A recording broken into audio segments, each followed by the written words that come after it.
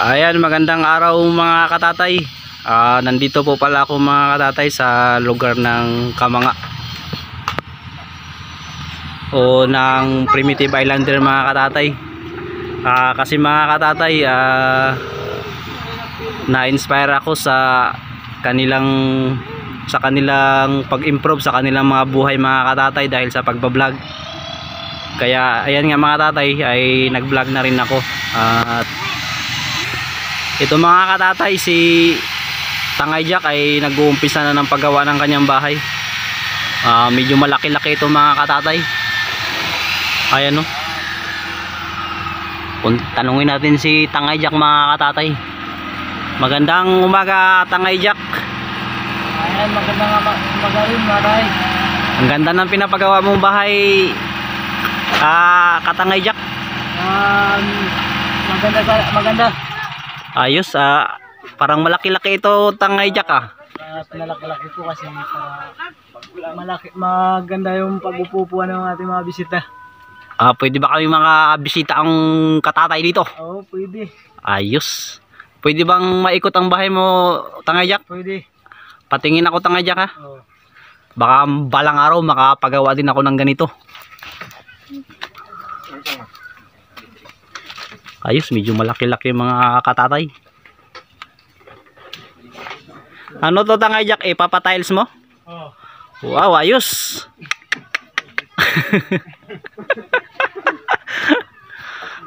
Anong kulay ng tiles mo, Katangay Jack?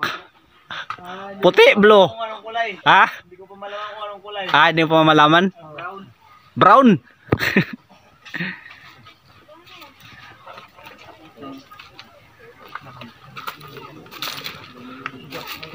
Ka, kalawak mga katatay oh. Maraming poste.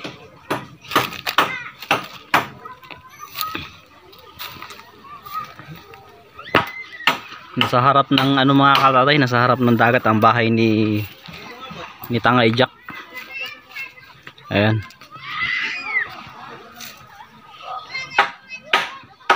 At nagpapasalamat tayo mga katatay sa ating mga primitive islander kasi ah, binigyan tayo ng pagkakataon para makapag-video. at kasi sobrang nakaka-inspire sila mga katatay. Malayo na yung naabot nila sa pagbablog sa kanilang buhay ay malayo-layo din narating nila. Ganda ng pinapagawa ng bahay ni Katangayjak mga katatay. Yan. Okay. Mga katatay, puntahan naman natin yung bahay na pinapagawa ni Tangay Kulot.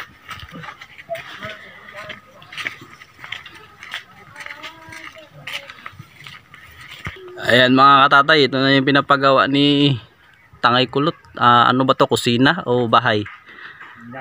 Ha? Ah, tindahan? ano to katatay Migo? Bahay o kusina? Kusina mga katatay. Kusina, kusina? ni Tangay Kulot. Malaki-laki itong kusina niya. Saan pala si Tangay Kulot? Namana mga katatay. Pangulam na ang karpintero?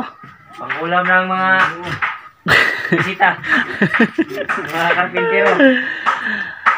Ayun, parang Lababo. Ah, lababo. Yan na yung lababo nila mga katatay. Ayan ang gumagawa ang veteranong karpintero dito sa aming isla. Si Katatay Purix. Kabitan na ng yero mga katatay. Oh. Ang galing. Ano pa ang plano dito katatay Miko? Wala naman si katatay Kulot. Ikaw na lang tanungin. Parang matagal ka na ata dito. Siging tulong. Oo mga katatay, update-update lang ako dito. Yan, Ah. tiles daw ilalagay ni Tangay Kulot dyan. Ah, tiles? Ayos ah. Hindi pa raw nakababa ng koron, kaya hindi pa nakabili ng tiles. Hmm. Nakailang trabaho ng araw na kayo dito katatay Bigo? Panglima na. Pang lima? Panglima Ang ka- sipag mo katatay. update-update lang mga katatay. Ayan mga katatay si si Miko TV ang laging nagkatulong dito sa pagpapagawa ng kusina ni Tangay Kulot. Ayan.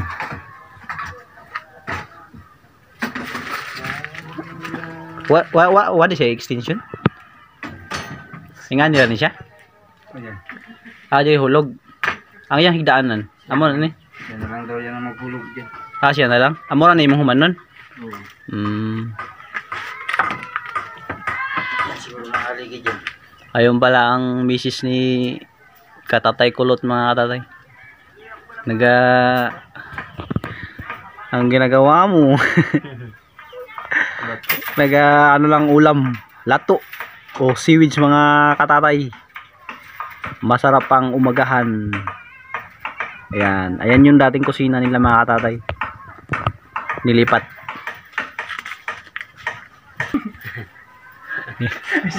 Mga kalatay, pupunta na po tayo doon sa bahay ni Tangay Randy. Tingnan po natin kung ginagawa nila. Kung tapos na po buo, tapos na po buuan yung bahay na pinapagawa ni Tangay Randy sa kanyang mga magulang. Ito naman mga tatay ang bahay ni Tangay Randy. Ay napakalaki. At ang gumagawa nito ay parang ang tatay lang ni Tangay Randy at sila sila lang. Ano? Ay si Tatay Tony. Kumusta ang paggawa Tatay Tony? Ah, ayos. Tapos. Si Pampa. Gandahan pa lang paggawa. Marami pang kulang. Sabi pa, kulang pa sa ahoy. Ang kulang pa sa Yero. kahoy, yero.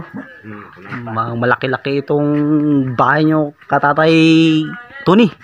So, para ano, kahit ay, mga, mga binata pa eh. Mga binata ba? Mga binata kung ano. Ah, pag magkasawa siguro dito na lahat magtira Dito na lang. para sama-sama. Para sama-sama. Yun, maganda. Saan si Katangay Randy? Kasi sa ano? Labas. Ayun pala, nagatago-tago sa bangga. Ay, mga ben, laki ng pinapagawa ng bahay ni Tangay Randy. Malawak.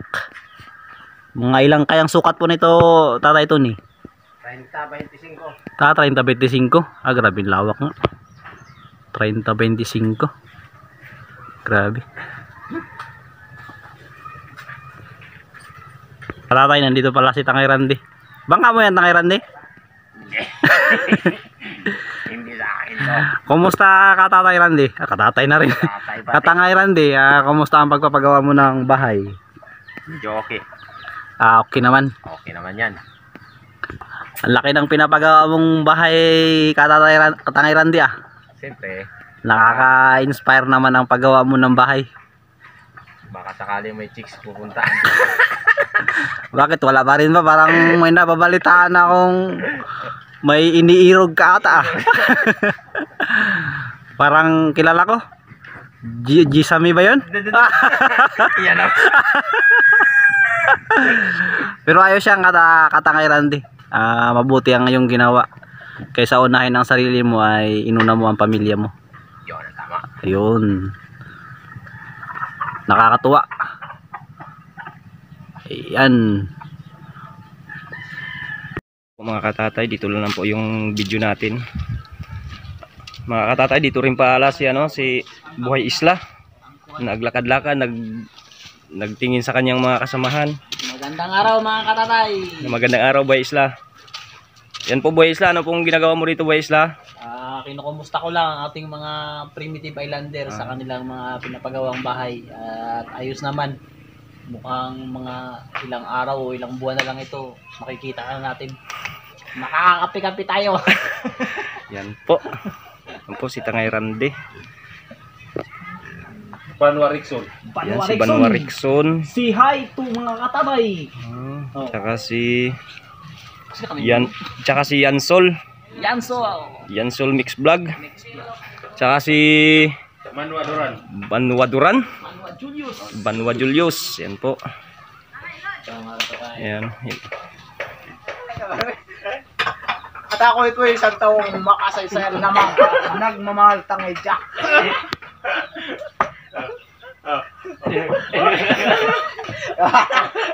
Wala, sige na. Ingat po kayo lagi dyan. Ingat din. At gab Tawa. Ingat. Tawa ka pa na rin. Ingat. Oh, ingat, ingat, please. Ingat. Ingat po, God bless po. Ayun. Ayos din ba na? Ma, aba na. Kaya mamaya. So, ano mukha ko? Nagsawa ka na ba mukha mo? Nagsawa ka lagi.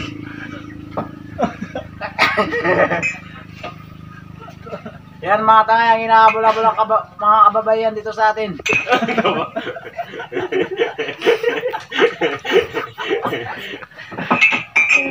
Kailangan labas ang bagay. Tay, maraming salamat po sa suporta nyo sa akin. Maraming salamat po sa mga viewers na nag-subscribe. Maraming salamat po sa inyong mga katatay. Yan po, pauwi na po kami. Yan, yan lang po ang na-upload ko ngayong araw na to mga katatay. Maraming salamat po sa inyo. God bless.